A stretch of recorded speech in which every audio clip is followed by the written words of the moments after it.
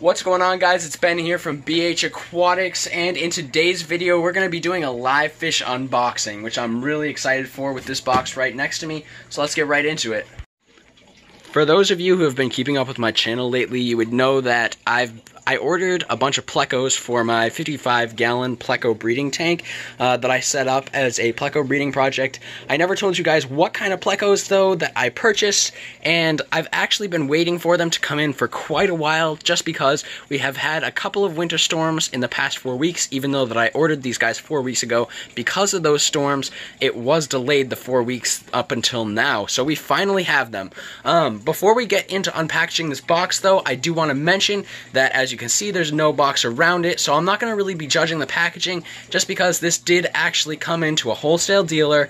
They unpackaged the fish just because I wasn't able to pick them up for another week, and then I picked them up today, um, so they were kind of repackaged again. So they, they are packaged like they would have been shipped, just minus a couple of items due to the fact that they've only been in this box for about an hour and a half. Um, so without further ado, let's get to opening up the box. Alrighty guys, I'm really excited for this because although I did see them when picking them up at the store, um, I did not really get an extremely good look at them uh, while I was at the store just due to the fact that I was picking them up. Um, I just had them tape up the box for me. Still some taping over here on this side. Uh, oh, you can get it off anyways. Nice bag, double bagged here. Um, there is a little bit of water in the bag. We do have a heat pack. Um, since it has only been in here for about an hour and a half, I'm not like I said, I'm not going to judge this packaging just because it is not technically a real shipment in. But since it has been in the box for about an hour and a half, I still can do minor judgments of it. Um, the bagging is really nice, nice blue bag. There is a little bit of water that's in the bottom of the box, but that's all right. It's nothing major. Um, the bag is all tied up nice with a rubber band. We got a heat pack on the side here, um, hanging on the side, taped right to the side here, uh, so that it can circulate around the uh, box. Uh, since this styrofoam is like uh, an insulator, it's keeping the heat inside of the box instead of releasing it out. So that's all very, very good. But without further ado, let's just take a look at the plecos. There was some paper stuff in here earlier, but I didn't really find a need to take it out. Um, these guys look incredible. I'm not even gonna lie. I don't know if you guys can see these, uh, if we're in the camera or out of the camera right now, but these guys look amazing. Uh, these are six green phantom plecos. When as I ordered them, I ordered them as four males and two female. Uh, sorry, four females and two males, and uh, they are all pretty good size, four to six inches long each and the minimum breeding size for these guys is approximately 5 to 8 inches. So potentially we could get some breeding in once they've acclimated to the water. So, I mean, now that we've gotten them out, let's acclimate them to the tank and let them go.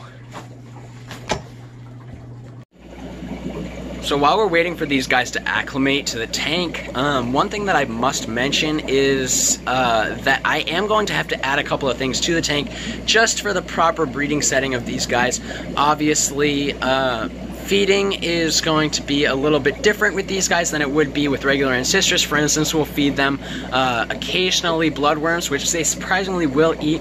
Um, some of the smaller ones, of course. And uh, another thing is that a fun fact about these green uh, phantom plecos is that they actually are cave breeders. So I'm going to uh, have to take larger caves and put them into the tank just so that it will optimize the breeding for these guys. Um, the last thing that I need to talk about that is extremely important for green phantom plecos if any of you attempt to breed them in the future like me um, is that when trying to breed any type of pleco that's like green phantoms, blue phantoms, gold nuggets, plecos that grow a little bit larger or definitely larger than five to six inches, uh, you should, it's only proper if you breed them in a species only tank, just so that there's not any distractions, it optimizes breeding quality, and uh, makes the breeding process much more efficient for these fish. No pun intended. Yeah, if you guys picked up on that one, eat fish. It, never mind, never mind. Um, but that's pretty much all you really need to focus on for this tank uh, that I have not added and just that quick fun fact that you need to know in case you guys try and breed these guys in the future.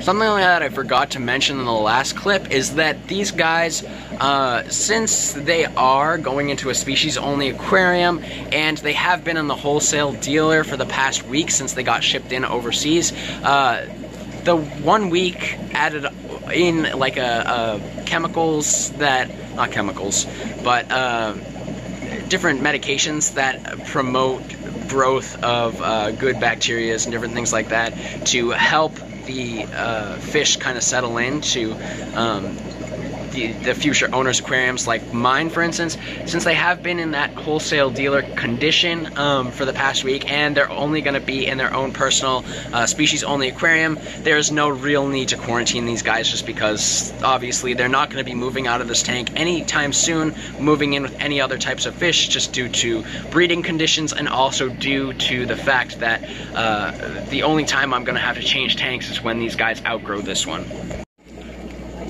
Alrighty guys, so sorry about that. Um, and I've gotten the bag in my hands here.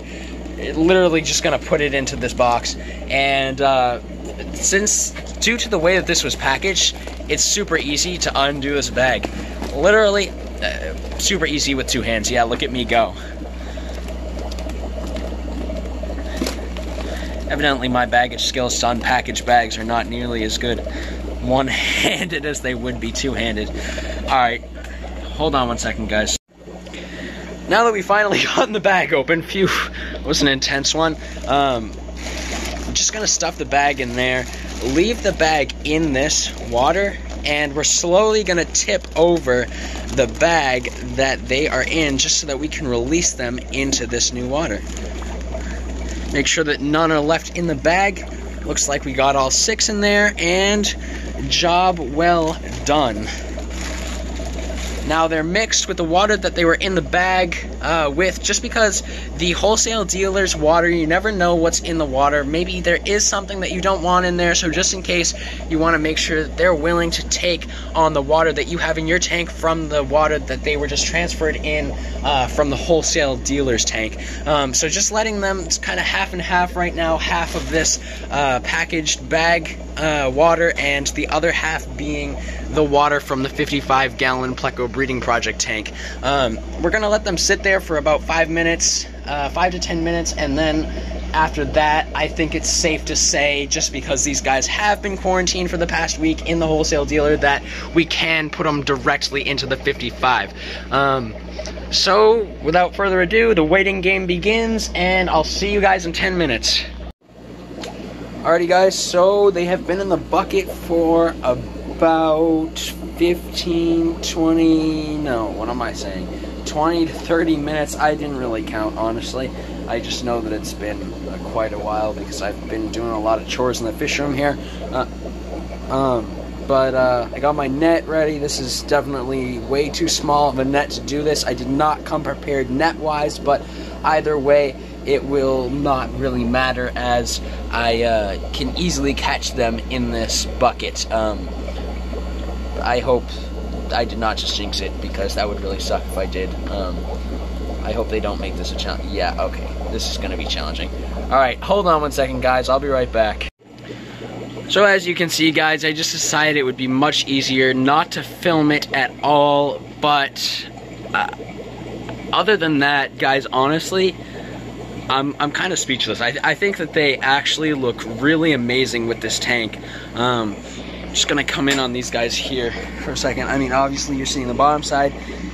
These guys, for the most part, since they have been shipped overseas, they are in pretty extraordinary condition just for um, how they've been packaged, how they've been shipped, and how long they've been shipped. Um, in the tank, I think they're going to do extraordinarily well. Um, as you can see, they, they do vary in size. This guy's pretty big here. Um, say this guy's maybe five inches long. This guy's probably six. Um, this guy here is probably on the smaller side, three and a half to four. But other than that, I feel like they are going to acclimate extraordinarily well. They can definitely feed on the driftwood. Um, they can feed on the sides. I let some algae grow in the tank just so that it could promote uh, breeding and it would promote uh, healthy eating. Um, plenty of live plants that are local to the environment that green phantom plecos have uh, in the wild. So that, that's really the whole point of this tank. Um, obviously, I'm going to do an update on this tank sometime in the future. Um, I may end up getting more green phantom plecos for this tank uh, in case um, something happens. And as I personally try and sex these guys, I don't come out with the right amount of females or don't come out with the right amount of males. Then I might have to do a switch in the future. I might have to get more in the future. I'm not really sure. Uh, whatever fits into what I'm going to do with this breeding project. Um, but in the meantime, these guys look amazing in this tank, and I'm really, really excited to see what happens in this project.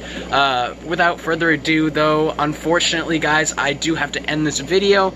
Um, but if you guys enjoyed watching this as much as I enjoyed making it, make sure you smash that subscribe button, like this video if you want to see more just like this one, because I have actually not done an unboxing um, ever before on my channel, nor have I done like a stocking video of a tank that I set up, um, like completely set up, aquascape, different things like that.